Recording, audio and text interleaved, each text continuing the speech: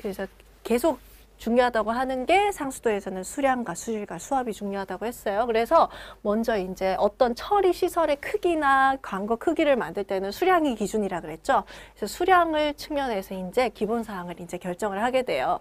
그러면은 가장 이제 먼저 요거 볼게요. 계획 목표는도 자, 상수도의 계획 목표는도는 15년도에서 20년이에요. 요거 반드시 기억을 하세요. 하수도는 20년이에요. 요게 두 가지가 이제 문제 잘 나오는 거거든요. 상수도의 계획연도 15에서 20년. 자, 요게 뭐냐면은요. 우리가 상수도 시설을 이제 건설을 하게 되잖아요. 상수도 계획을 하게 되면 올해만 쓰려고 하는 거 아니겠죠? 이게 엄청 큰데. 그러니까는 올해만 보고 내년만 보고 하는 게 아니란 말이에요. 그러면은 이 상수도를 한번 지어 놓으면은 몇 년 뒤까지 쓸 거냐. 그게 계획 목표는 돼요. 그러니까 한 번 이렇게 지으면 상수도를 15년에서 20년 동안은 사용한다고 보고 계획을 하는 거예요. 건설을 하고. 그러면은요, 아까 우리 기준이 되는 게 뭐였어요? 급수량이 기준이었잖아요. 양은 항상. 그러면 이 급수량은 뭘 가지고 만드냐? 그러면은 사, 이제 사람들이 얼마나 쓸지, 사용 수량을 알아야 물을 얼마나 공급할지 알겠죠? 그죠? 근데 이게 현재의 사용 수량을 알려고 하는 게 아니라 몇 년 뒤? 네, 20년 뒤에 사람들이 얼마나 쓸지를 알아야 된단 말이에요. 그러려면은 뭘 따져야 될까요? 어떤 지역에 공급을 할까? 요게 계획급수 구역이에요. 우리가 물을 공급할 지역이 계획급수 구역이고요.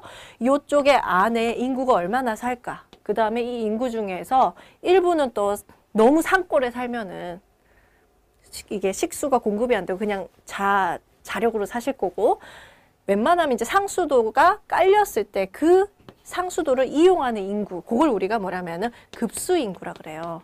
그래서 얼마 만에 인구가 얼마 만에 물을 사용을 할지 그거를 먼저 알아야 되는 거예요. 몇 년 뒤?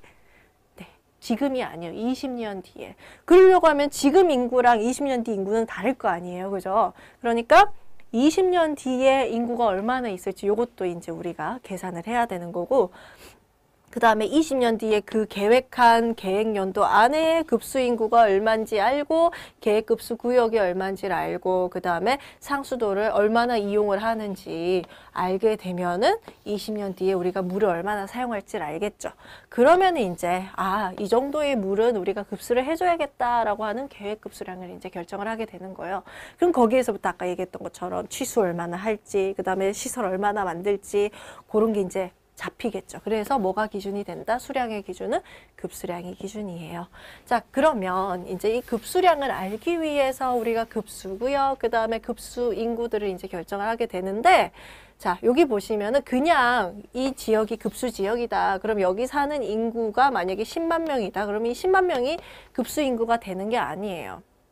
이제 이 10만 명 중에 예를 들어서 만 명은 상수도 이용 안 한다고 볼게요. 이 사람들은 그냥 뭐 너무 산골에 살아서 이제 물을 이렇게 수도꼭지 틀어서 얻는 사람들이 아니에요. 그러면은요, 이 급수구역 내 인구의 지금 보급률이 얼마냐? 그러면은 이제 상수도 보급률이 전체 인구 10만 명 중에 지금 10만에서 얼마? 만 명 뺀. 그죠? 얼마? 10만 중에 10백이라면은 9잖아요? 그러면은 0.9만큼 전체 인지 10만 명 중에 여기에 90%만큼만 식수를 이용하는 거예요. 상수도를 이용하는 거예요. 이걸 우리가 뭐라고 하면 보급률이라 그래요. 그러니까 상수도를 얼마나 이제 이용을 하는지 보는 거죠.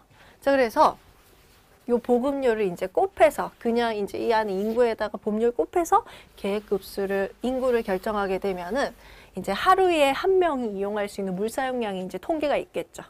그걸 우리가 다른 말로 이제 원단이라 그래요. 단위가 어떻게 되냐면 하루에 한 명이 얼마만큼의 뭐 물을 사용을 하냐 혹은 얼마만큼의 뭐 어, 오염 물질을 내놓냐 요걸 전부 다 우리가 원단이라 그래요. 그래서 분모가 이제 하루에 한 명 기준이에요. 그럼 보세요. 지금 하루에 한 명이 예를 들어서 물을 뭐 우리 예를 들어서 뭐 30, 300리터를 사용을 한다. 그러면 하루에 한 명이 물을 300리터를 사용을 한다 그러면 이제 여기에다가 뭘 곱하면 인구 곱하면 하루에 이 지역에 물 얼마나 필요한지 수량이 나오겠죠. 그래서 그거를 이제 어, 이제 사용 수량을 가지고 이제 계획급 수량을 설정을 하게 돼요.